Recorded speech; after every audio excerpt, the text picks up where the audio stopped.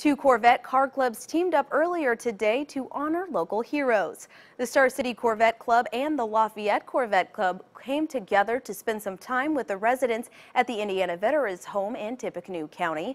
Both clubs took in donations that will help meet the needs of local heroes at the Veterans Home. A large cargo van driven by an Elkhart vet took food they started collecting in March to the Veterans Home today. Organizer Jill Baumus says the event is designed to show thanks to our local veterans.